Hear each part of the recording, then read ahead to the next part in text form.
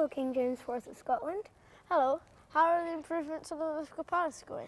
Very good, sir. We shall be done shortly, sir.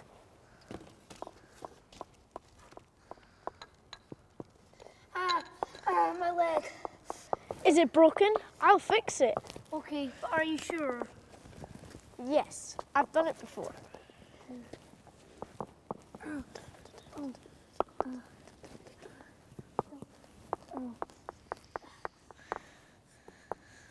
There. Oh, thank you. You're not just a great king, but you're a great doctor too. Oh, thank you. I've been practicing. Uh, I don't suppose you have any teeth I could pull out. Well, how much will you pay me? We'll discuss it later. Ah! Ah! Ah!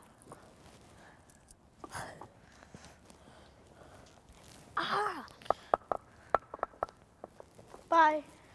Oh, I'm late for my wedding. Bye. I'm here at the marriage of Margaret Tudor and James IV.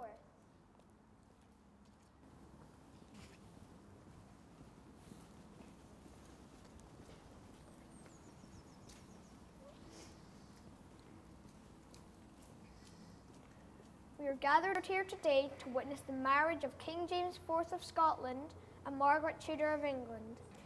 Do you both promise to stay by each other's side and love each other for the rest of your lives? I, do. As long as he doesn't pull my teeth out. I now pronounce you husband and wife. God save the king! God save the queen! Finally, we've got a new queen in Scotland. Please don't do anything stupid. I wouldn't dream of it. Your Majesty, I have a new project. Look. Not another stupid project, Damian. What have you been working on this time, Damian, my chief inventor and experimenter? Flying, sir. I've created a new pair of wings. And what are these wings made of? Hen feathers, sir. Are you sure this is going to work, Damian? Of course. Well, on you go then. Well, here goes nothing. Ah! I was sure this was going to work. The feathers must have been attracted to the dung heap. I should have used eagle feathers.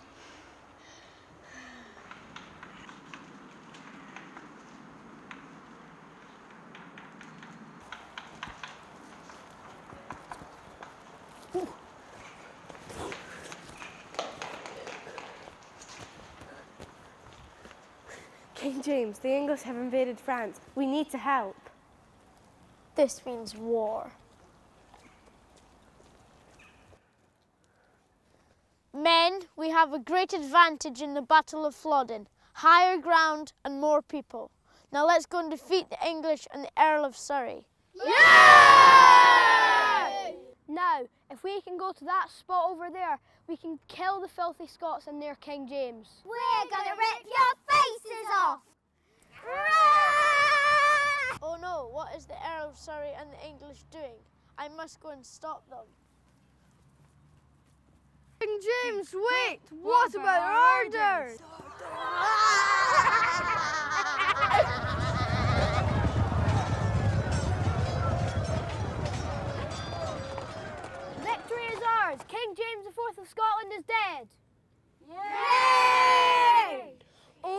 great king is dead and so are many of the nobles. What shall Scotland do? Let's play football with the king's head!